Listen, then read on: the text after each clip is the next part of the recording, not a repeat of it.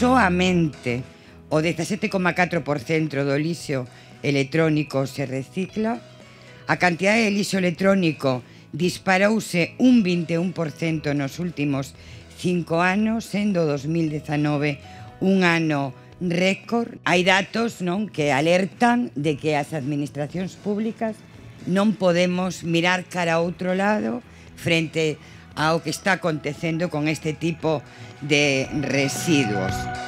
Hoxe en día é prácticamente inconcebible eh, que un, nun concello ou nunha comarca non haxa un punto limpo, tanto para os gobernantes como para a cidadanía. Temos unha labor nos concellos pequenos eh, moi grande. Nos é o punto limpio que todos os días está funcionando, está aberto. Levamos moitos anos recollendo xa eh, este tipo de artículos.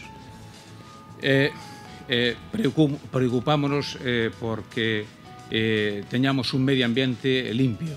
E aquí estamos apoyando este proxecto para poder conseguir o que finalmente queremos, que un concello limpo, un concello do que podamos estar todos moi orgullosos. Reativemos a responsabilidade.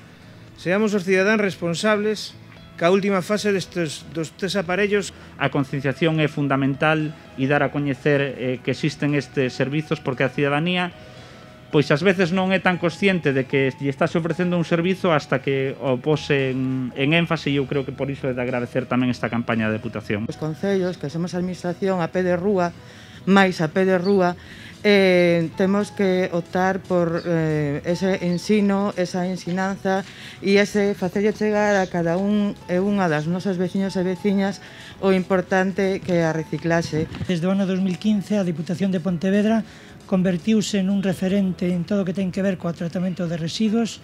Eh, somos pioneiros eu creo que eh, a nivel europeo, a nivel mundial, en todo o que ten que ver co tratamento dos bioresiduos. Ahora inicias esta campaña que nos parece interesantísima e necesaria. Sin lugar a dudas va a suponer un paso más de cara al reciclaje, pero sobre todo a la concienciación de nuestros ciudadanos para crear un mundo más limpio y un mundo mejor. Nos contamos con un punto limpo bastante reducido para a poboación que nos temos y gracias a esta iniciativa ampliaremos